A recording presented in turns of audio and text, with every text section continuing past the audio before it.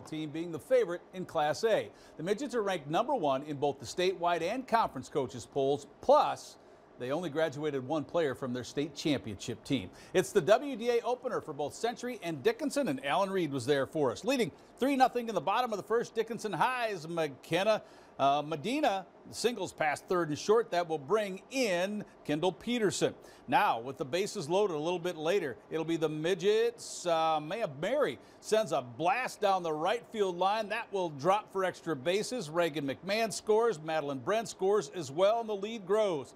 Then uh, the Midgets will continue to capitalize here, taking advantage of a little pass ball as Emily uh, Saylor hustles down the line, slides in safe. It was an eight-run lead after one. Century's lone hit in the first four innings off of Avi Yanner was Ashlyn Schumacher. She would end up with the triple. At Dickinson, though, would go on to win it by the final of 11 to 1 and sweep the day 13 to 6. Well, the capital city in the softball, it's the Demons hosting the Sabres. Top of the first inning here.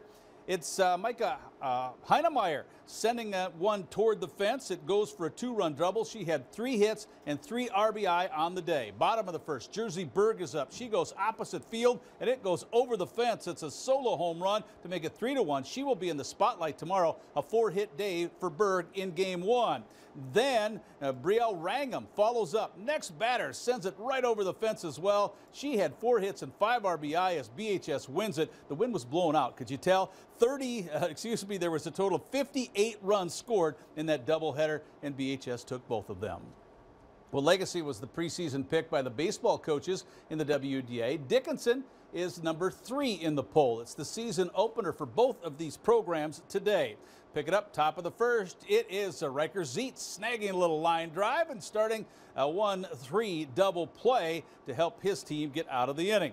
And on the offensive side, it's Marcus Butts for the Sabres with a man on second, ripping that one to the left field. It brings the run in, and the Sabres would grab the lead. They played with the lead for most of the day, actually, I think the whole day, but it's uh, Harrison Johnson with the bases loaded, just squeezing that one in as a couple runs score again. Legacy scores nine twice and sweeps the doubleheader. Final was 9 to 2 and 9 to 5. Over in Mandan, things got started with the Braves sweeping the Demons 7 1 and 5 to 4. Earlier today, U Mary hosting Dickinson State in a non-conference baseball game. There's a little look at that wind that was blowing as Connor Kirchhoffner got a strikeout. This was in the fourth inning of this game, but at the uh, very next hitter is Nathaniel Gillick, and that wind blowing hard out to right field, and it can not be played out there. Goes to the fence. Gillick, well, he just keeps on running around until he slides in safely. That's the fifth run and the game-winning run because the final here was five to four as the Marauders scored four in the bottom of the ninth. Up in Minot, it was uh, Minot State softball team taking two from U Mary. And in uh, Milwaukee, the first game, the home of a two-game series, goes to the Brewers, three to two. And also, DSU's Corey Nagel is the field athlete of the week in the North Star. She's a junior from center, automatic qualifying.